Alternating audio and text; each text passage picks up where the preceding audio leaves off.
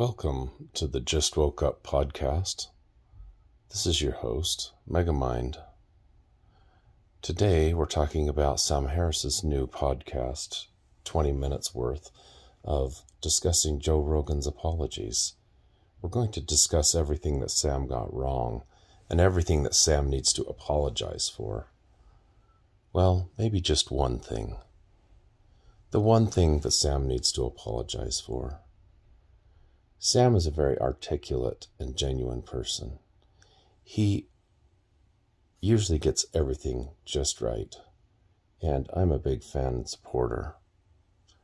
And really a personal friend of Sam's in my own mind, having written him emails on multiple occasions, still waiting for a response. Anyway, to the topic at hand what Sam needs to apologize for and what Sam got terribly wrong in his most recent podcast. First of all, he equates the crazy people on the left with the crazy people on the right. And in discussing the two sides and their response to Joe Rogan's apology, he talks about people on the left who smell blood in the water and want to crush Joe Rogan even more intensely and obliterate him. And then he talks about how equally wrong the response on the right is, where they're saying that never apologize for anything, at least from a PR perspective. How it's not necessary. And he equates the two as both wrong in the same magnitude. Sam, that's just not right. That is just not right. You contradict yourself by saying, when you say, when you admit that Joe Rogan didn't even need to apologize, obviously because he's a good person and not a racist. And his video, his uh, criticisms were taken out of context. You've admitted that he does not need to apologize, and yet you put the right's response to Joe Rogan's apology, their response being, don't apologize.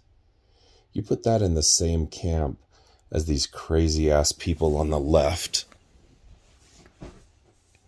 who are calling for his obliteration. That's just plain wrong, Sam you have to at some point admit that you are closer, more closely aligned with intelligent opinions coming from the right than on the left right now.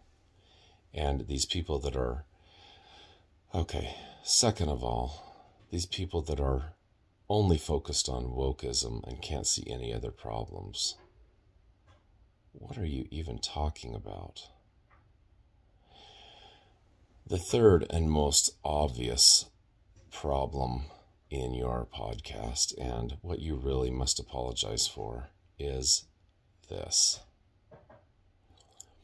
You very um, succinctly and articulately point out that these people on the left, these assholes on the left, who who who call uh, who who go searching for um, for a black person who has murdered a cop and call for their redemption and for their apology to be accepted and their return to normal society. And yet, these same people, these assholes on the left, who go searching for a white person who's used the N word and call for his utter destruction and obliteration. You call it hypocrisy. That is just wrong. It is so much more than hypocrisy. It, let's call it for what it is. It's racism. Racism. These people, these assholes on the left, are committing racism. They are racists. Let's call it for what it is, Sam. Racism.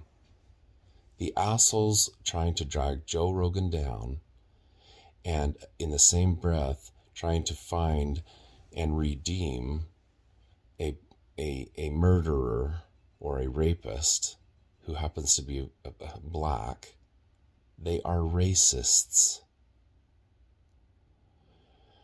So, anyway,